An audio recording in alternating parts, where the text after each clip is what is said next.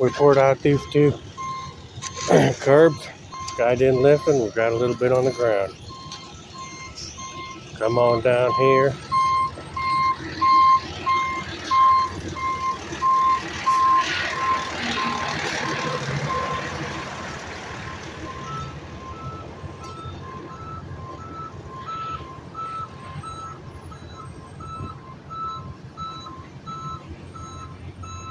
We got some more fed up, ready to go down here.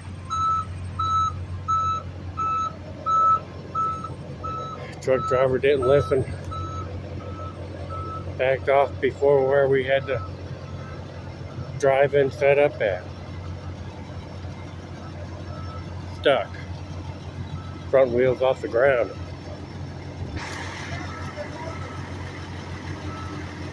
Back wheels too.